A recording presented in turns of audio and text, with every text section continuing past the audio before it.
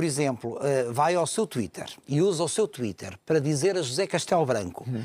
que, mesmo ele estando na América, em Nova Iorque, se o senhor fosse Presidente da República, ele não se safaria neste país, isto é o quê? Isto é uma ameaça? Não, não é nenhuma ameaça. Eu não se safaria com aquele estilo pindérico que ele tem, não se vai safar em Portugal. Mas ele tem todo, ele tem todo o direito de ser assim e ter aquele estilo. Mas se eu ganhar... E o... até de se vestir daquela maneira. Com certeza, mas se eu ganhar, o país vai acordar de tal maneira do ponto de vista civilizacional, que aquele estilo já não vai ter lugar em Portugal. Ou seja, não vai ter lugar para escolha é das pessoas. Como é que se fosse, se assim num delírio, fosse Presidente da República... Num delírio, não. Vai acontecer. Não, não vai. Vai acontecer. Não, não. Vai acontecer. E o Manel ainda vai estar. E o Manel vai acompanhar em vida a Quarta República Portuguesa. Não, não quero, não quero acompanhar. Não, não quero acompanhar porque eu gosto muito da democracia tal mas, como ela mas, está. Manel, eu sou o mais democrático de todos mas os Mas como é que acha que um país vai acordar para não suportar pessoas como José Castelo Branco? Não, não quando, elas, quando elas têm todo o direito de serem como são?